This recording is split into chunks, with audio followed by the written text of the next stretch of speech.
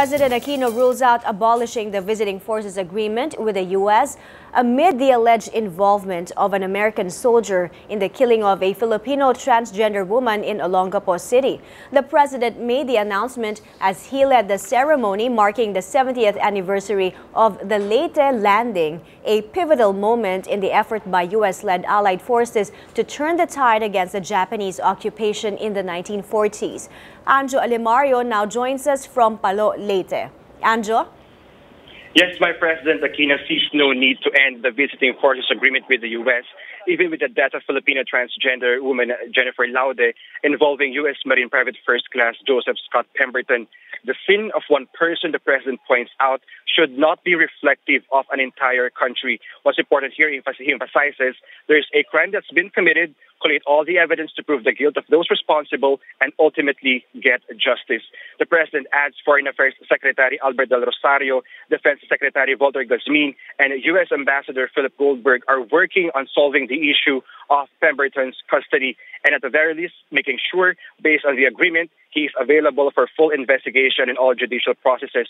My the President Aquino today led the 70th anniversary of the Leyte Gulf landing in Palo Leyte, where he recognized and thanked those who risked their lives in defending the country. The landing is historic as it marked the reestablishment of the Commonwealth government on Philippine soil. The invasion of Leyte began the campaign for the liberation of the country from the Imperial Japanese forces fulfilling General Douglas MacArthur's pledge of returning to the islands.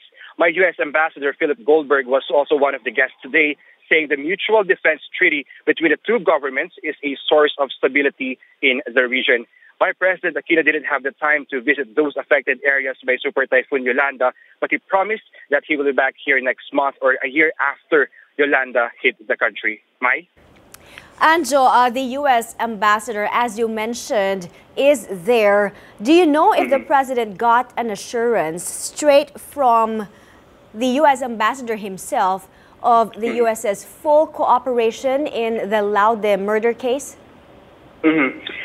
Actually, Matt, that's what the government, especially the spokesperson of the president, have been saying all this time, that they are getting the full cooperation of the U.S. government, now that being espoused by U.S. Ambassador Philip Goldberg. And today, President Aquino says that the uh, uh, Ambassador Goldberg, together with our uh, Defense Secretary and uh, Foreign Affairs Secretary, are working doubly on working the issue of the custody issue of Pemberton Mike. Mm -hmm. Still a big question today is if the accused Joseph Scott Pemberton will appear in tomorrow's preliminary investigation.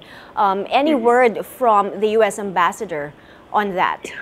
Mm -hmm. we didn't get that, uh, that opportunity to talk to Ambassador Goldberg because we were already uh, uh, preparing for the interview or the ambush interview for the president. But what he told us, uh, uh, Ambassador Goldberg, during his speech is that the mutual defense treaty, again, between the U.S. and the Philippines, is a source of stability in the region. There is a need to expand and renew the partnership between the two countries, Mai.